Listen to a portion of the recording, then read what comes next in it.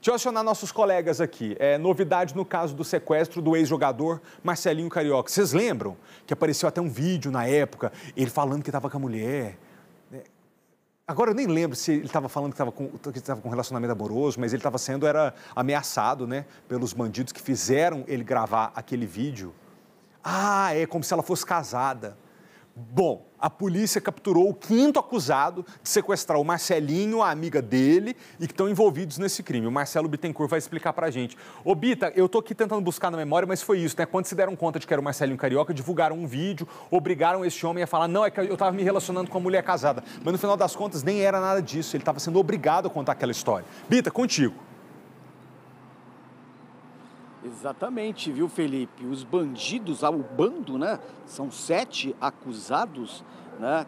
Três ainda permanecem foragidos, inclusive a justiça já tornou todos réus né? A justiça já acusou, já decretou todos como réus, os presos, aliás, os dois ainda, dois ainda permanecem é, foragidos, mas a história era essa. Eles sequestraram o Marcelinho, que foi na casa desta amiga, ele que trabalhava como secretário em uma prefeitura aqui mesmo da região, e o casal ali, os dois, né, os dois amigos, o Marcelinho e a Thaís Alcântara, foram levados para um cativeiro.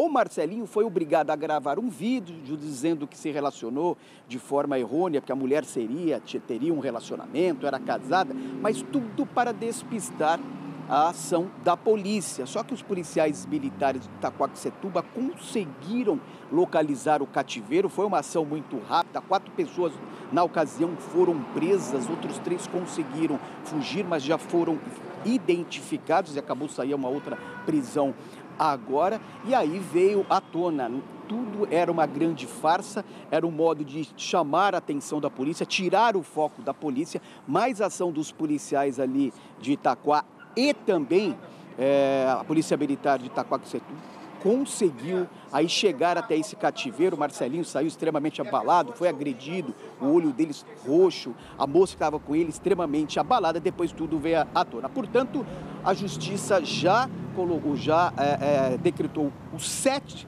como réus e agora vai esperar o julgamento. Dois ainda permanecem foragidos, Felipe. Obrigado, Bitar.